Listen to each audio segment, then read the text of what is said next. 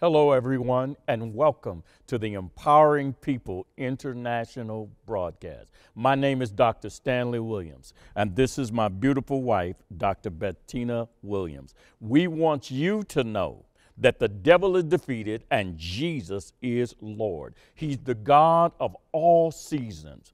That means that miracles are happening no matter what the season is, even in our hour, God is still a supernatural God. God has called you to victory and triumph. In fact, He's coming back for a glorious church, not a defeated, broke down, frustrated, defeated church, but He's coming back for a church that is full of glory, power, and authority. The Bible says that in the last days, perilous times will come. We're living in that day and that hour, but God wants for you to arise and shine for thy light is come, and the glory of the Lord is risen upon thee. Get ready for a word that is going to reflect the glory and the power that God has released in your direction. It's a setup for your greatest hour of victory. Let's go to the word.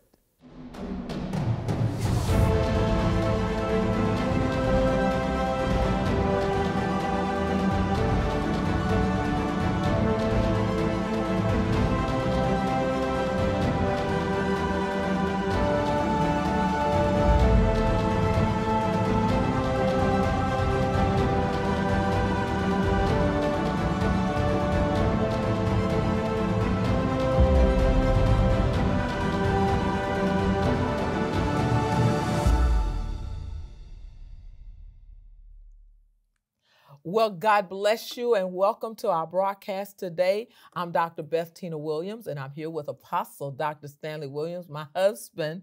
Praise God for almost 40 years. I mean, the time is passing, the time is passing. Where has the time gone? As my mother would say, God is good and his mercy endure forever. It's a joy to be able to share the word of God with you. And we're going to continue in the series of messages that we're speaking on and ministering to you about concerning expectation of miracles by the Holy Ghost, expecting the Holy Spirit to minister in your life, to move in your life in a supernatural way. Even as a believer, if you're saved and you have Him on the inside of you, you can expect God to use you for His glory. That miracles didn't end or cease with the with Jesus Christ and the 12 disciples who became the apostles of the Lamb and the 72 others who were beyond them. But miracles continue today. I'm a firm believer I've seen it for myself. I've seen God heal cancer. I've seen God remove tumors. I've seen Him do it multiple times. I've seen God heal the sick. I've seen uh, uh, demons cast out of people. I've seen the supernatural power of God, even to save souls. To save a soul is the greatest miracle of all. So as you hear the word of God today, I want you to take it personal. I want for you to believe God for your miracle and believe God beyond that to use you for his glory so that somebody else will hear the gospel and be delivered healed, saved, and set free. Let's go before the Lord's throne in prayer, and then we're going to turn it over into the hands of Apostle. Father God, we honor you. We praise you and we bless your holy name. We thank you for the power of your presence indwelling us and that you're with us today. We thank you for the ministry and the presence of your Holy Spirit. We thank you that you have not left us and will never leave us. We thank you that your word is true and every promise you will do. We honor you today and we, we say, Holy Spirit, reign. Come, Holy Spirit, fill us and fill those who are watching in a new and living way. Let the refreshing rain and river of your spirit flow. Flow, God, in a mighty way, healing and delivering, setting captives free, and making men whole for your glory, for your honor, and for your praise. In Jesus' mighty name, amen and amen. Apostle. We welcome you to the broadcast today. And we share our love with you as yes, always. Yes. We love you with the love of Jesus Christ. Amen. And of course, you already know that God loves you. Yes. Today, you know, we're continuing our purpose, our purpose to challenge your faith, release our faith with you, Yes. and to create a great expectation for the supernatural. hmm This is the ministry of the Holy Spirit. Now, we've been talking about Jesus, and I'm just going to say it, you know, in my way. Jesus is sort of painting outside the lines. He didn't stay with just the 12 apostles. He he had anointed 72 and then we come to the deacons, Philip and Stephen are mentioned, flowing in supernatural miracles. And then there's Saul of Tarsus. I want to read this passage to you. Listen to this Acts chapter 9, verse 17. Ananias was a little known apostle, and he was flowing in miracles. Ananias, so Ananias departed after some resistance and entered into the house.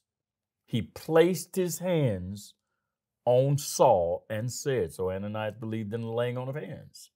Brother Saul, the Lord Jesus, who appeared to you on the road as you came here, has sent me so that you may receive your sight and be filled with the Holy Spirit.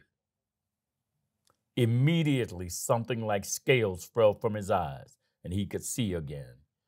And he got up and was baptized. So you could Mhm. see the the the fill the infilling of the Holy Spirit is separated from water baptism. So Paul received the power of God. He went he went right out after that and he preached Christ convincing everyone that he was Lord. Amen. Now, now we come to the you, pronounce it di, dias, diaspora, diaspora, You're good. diaspora You're good. Because I always pronounce that wrong. Others who received the baptism of the Holy Ghost. Listen, in Acts chapter Mhm. 4, we're looking at Philip ministering. Now, this is what the scripture says. Therefore, they were scattered abroad. That's the scattering. The apostles, they remained in Jerusalem, everyone else scattered. Then Philip went down to Samaria and preached Christ unto them in Acts chapter 6, verse, excuse me, Acts chapter 8, verse 6, and the people with one accord gave heed unto those things which Philip spake, hearing and seeing the miracles that he did. Now, this was Philip the deacon. He was not an apostle. Unclean spirits came out of people crying with a loud voice. Miracles were happening everywhere. And I want to just tell you this. Now, in the city this is verse 9 of Acts chapter 8. Now, in that city was a man named Simon who had been practicing magic and amazing the people of Samaria, claiming to be someone great. And all the people, from the least to the greatest, paid very close attention to him, saying, This man is the power of God that is called great. And they paid close attention to him because he had amazed them a long time with his magic. But when they believed Philip, as he was proclaiming the good news about the kingdom, about the kingdom Mhm. of God, and the name of Jesus Christ, they began to be baptized, both men and women. Even Simon himself believed. And after he was baptized, he stayed close to Philip constantly. And when he saw the signs and great miracles that were occurring, he was amazed. Now, listen to this. This is verse 14 of Acts chapter 8. And I'm going to pass it to my wife. Now, when the apostles in Jerusalem heard that Samaria had accepted the word of the Lord, they had received salvation, Mhm. they had received water, salt, and water baptism. Now, look, they sent Peter and John to them. Mhm. These two went down and prayed for them that they may receive the Holy Ghost. So you could see the clear separation. He preached Christ to them, they accepted it. Mhm. They were baptized in water, they accepted it. Mhm. Then the apostles came down after they knew that they had received Christ and they received the Holy Ghost. That's where the power comes Mhm. from. Mhm. And I love it because this scripture is letting us know, the word of God is telling us and letting us know that the Holy Spirit comes without price. You don't need any gimmicks. You don't need any any any anything to add to God. You don't he don't need no help. Amen. You don't need gimmicks. You don't need potions. All this kind of stuff, uh, all this kind of trinkets. You don't need anything to to to to have the presence, the ministry, to receive the miracle working power of the Holy hmm. Spirit. Mm. All you need is to believe. All you have to do is have faith in God and know that God is who He said He is, and He can and will do what He said He will do. In this day and time, Apostle, you have a lot of um, people that they want, they they earnestly want the hand of God. They want the ministry of the Lord, the Holy mm. Spirit, mm. to, to flow and to operate in their lives or even to touch them, to heal them. But we have a lot of things that happen today that I will say are counterfeit or potions and lotions and trinkets and all of this stuff. And you got to pay and buy, pay money to get it and all this kind of stuff. You have to be careful with that because, as the Bible tells us in Acts chapter 8, and starting with verse 18, it says, Now when now Simon, when he saw that the Spirit was given through the laying on of the hands of the apostles, he offered them money. Give me this power too, so that everyone I place my hands on may receive the Holy Spirit. And this is this is what it says in the message translation about it in Acts chapter 18 chapter 8, it says in verse 18, when Simon saw that the apostles, by merely laying on hands, conferred the Spirit, he pulled out his money, excited, and said, Sell me your secret. Be careful now. Listen to this. Sell me now, sell me your secret. Show me how you did that. How much do you want? Now your price. Peter said, to hell with you, to hell with your money, and you along with it. May, why? That's unthinkable. He's saying, Peter's responding to Simon. He's mm. saying, why? That's unthinkable. Trying to buy God's gift. You'll never be part of what God is doing by striking bargains and offering bribes. Change your ways and now. Ask the master to forgive you for trying to use God to make money. I can see this is an old habit with you. You reek with money lust. This is where we are today. We have to be mindful that the gift of the Holy Spirit is a promise.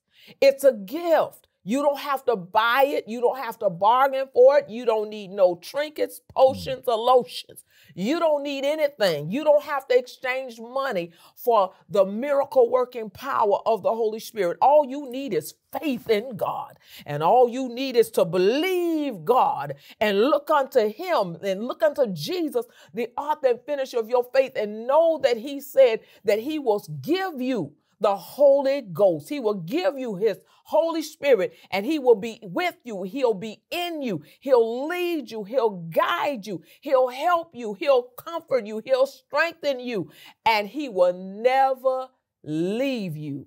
He will always be with you. You need to know that so that as you are believing God to minister and move in your life, desperate people do desperate things.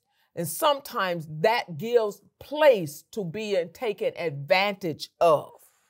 You can you can give by faith your tithe and your offering to God, but you never have to buy a miracle.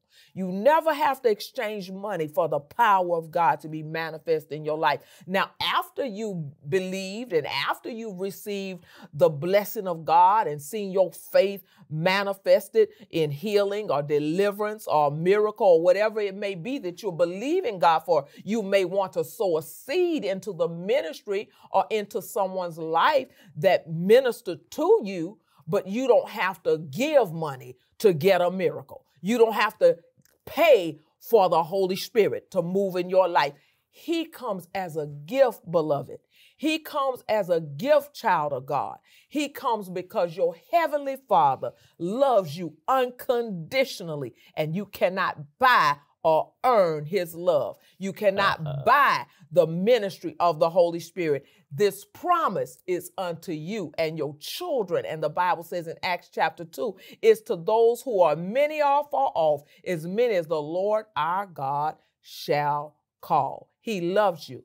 And yes, he sent indeed. his Holy Spirit after Jesus Christ to heal you, to be with you, to walk with you, to talk with you, to guide you, and to always be there. He's a friend that sticks closer than a brother, and you don't have to pay for it. It's a gift. I'd like to encourage every one of you to begin to seriously meditate in the Word of God. Remember what the psalmist David said if you meditate in the Word day and night, you'll make your way prosperous and you'll have good success. I believe that everything that you set your hands to do will prosper. And I believe that God is interested in your prayer life. Develop that prayer life. Begin to stand up in God's face and begin to declare the Word of God. God loves it when He's in communication with His people. In Jesus' name. This is an exciting time in history. We are seeing the Word of God unfold and come into full manifestation every day, just watching the news. So I want to encourage you get your news from the original source. Stay in the Word of God daily. And as you stay in the Word of God, enjoying with daily communion and prayer, talking to the Father, He will show you things to come and He will manifest His power to you. In fact, God has ordained for you to be in the driver's seat. He's ordained for you to be the head and not the tail, above only and not beneath, blessed and not cursed. God wants for you to be a difference maker and a change agent. In other words, God has put you in a position of power and authority because we're seated in heavenly places in Christ Jesus. And He's ordained for you to walk a life of victory in the Word. Let's go back to the Word of God. God is not asking you for money to be empowered by the Spirit. I yes. agree. That is a beautiful yes, statement. Yes, amen.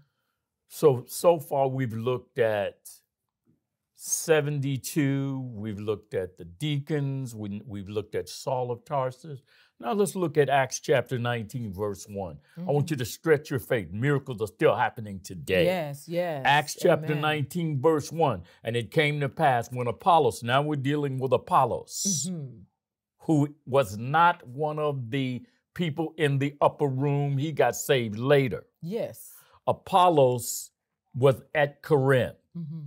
Paul, having passed through the upper coast, came to Ephesus and finding certain disciples, he said unto them, Have you received the Holy Ghost since you believed? So yes, they yes. had received Christ yes. as Savior. Mm-hmm.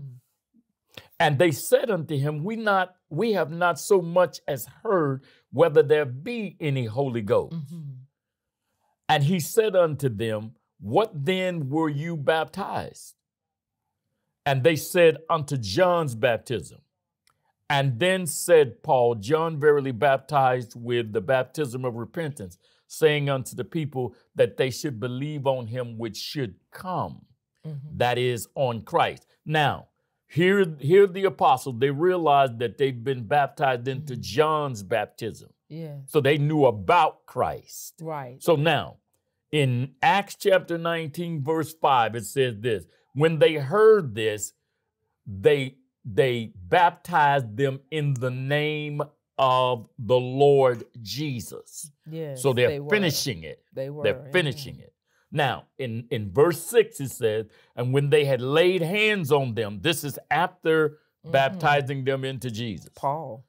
Paul laid hands on them, and the Holy Ghost came on them, and they spake with tongues and prophesied. So yes. they he followed the progression. He asked them, "What were you baptized to?" They said, John's baptism. So he rebaptized them in the name of Jesus, and laid hands on them afterwards, and they they yes. spoke in tongues and prophesied. Yes. And I want to end like this, and I want to pass it back to my wife because this is something that's extremely important that I mention. Now, the Holy Spirit hmm was not relegated to the first century. You mentioned it. The, the promise is not only to, or was not only to them, That's very important.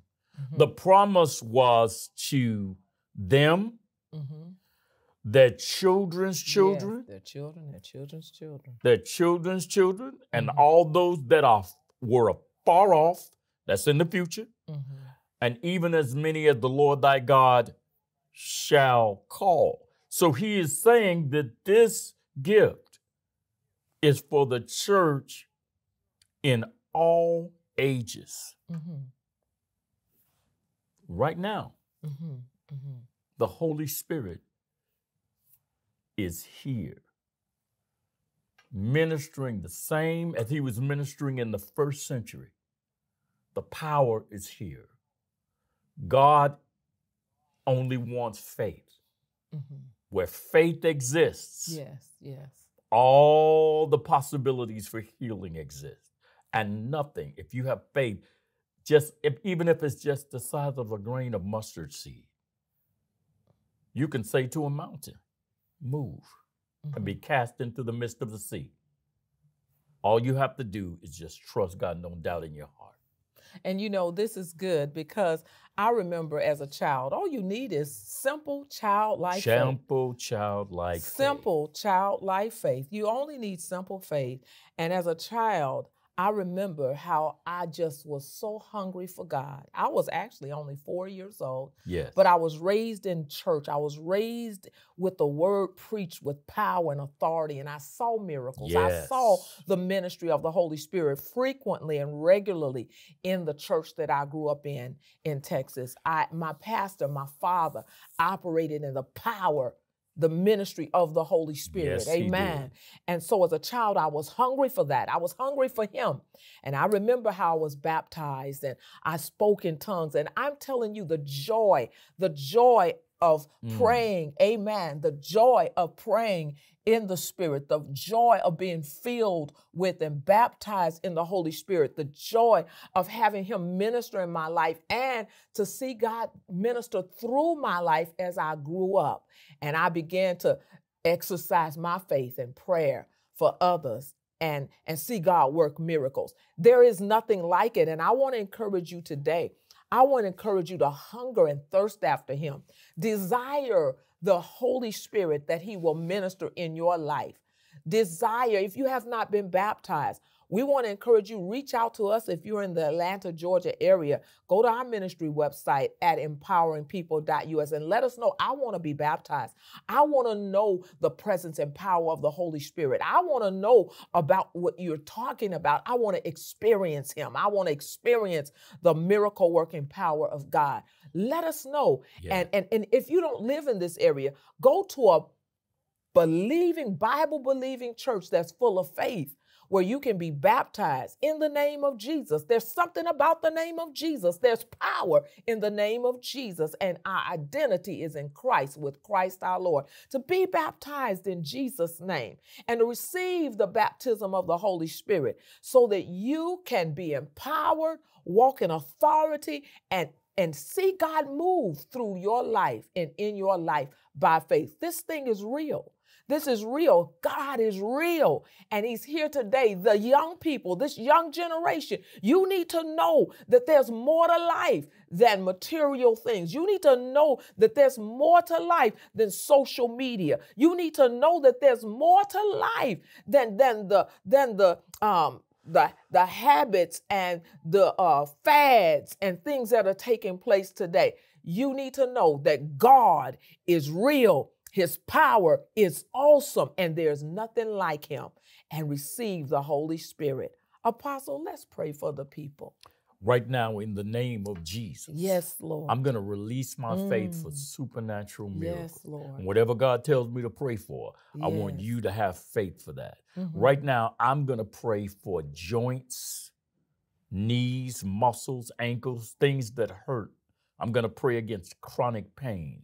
Right now, in the name of Jesus Christ, I invoke that name by faith, believing that your supernatural power is going to heal. There's someone right now that's struggling with chronic pain in their back, in their joints, their knees. They're the facing possible knee replacement, hip replacement surgery. I come against it in the name of Jesus. Name and of even Jesus. if you have to recreate cartilage, whatever mm-hmm. you have to do, I release my faith for those miracles yes, right Lord, now. I believe in the supernatural. Yes, power Lord. of God. I believe Hallelujah. that God is Glory who He says He is. I believe he will mm, yes, do what he says he'll do. So right now, while I'm releasing my faith, yes, stretch forth Lord. your hand to God. I am not the, the healer he is. And I want you to the trust God for your miracle. Yes. Right now. Right Father, now. in the name of Jesus, name of only Jesus. you can do it. Yes. Uh, we release our faith and we come into agreement for miracle after miracle after miracle yes. in Jesus', Jesus mighty name. name. Amen. And the greatest miracle is to receive Jesus Christ in your heart as your Lord and Savior. Just ask Him, Father God, I ask you to save me. I ask you to set me free. I believe that Jesus Christ is your Son, and I receive Him into my heart as my Lord and my Savior to live for you for the rest of my life. I give myself to you. And as you pray that prayer, reach out to us Connect with us today, and we encourage you to let us know that you were saved in mm. Jesus' name. God yes, bless you. Jesus. Believe God for miracles. God bless you. Amen. Amen. We want to thank you for being a part of our Empowering People International family. We so appreciate you. You are loved, and every soul that's impacted by this broadcast, you are a part of it. Remember that Jesus is the best thing that ever happened to us. And as long as we have Him, we have absolute victory.